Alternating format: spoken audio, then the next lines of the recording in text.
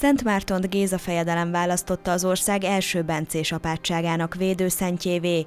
Most születésének 1700. évfordulójára emlékeznek a Pannonhalmi főapátságban.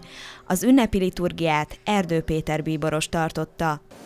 Kérjük az idén Szent Márton népünkért, Európa népeiért és minden hogy válságunktól az átalakulás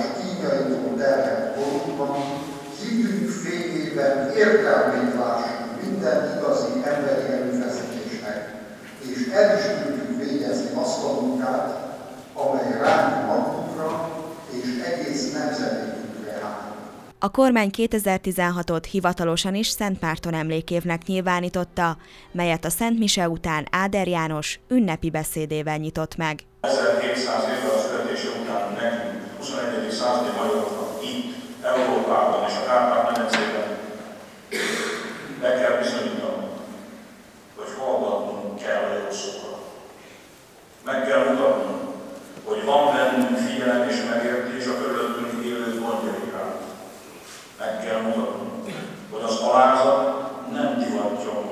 tulajdonság.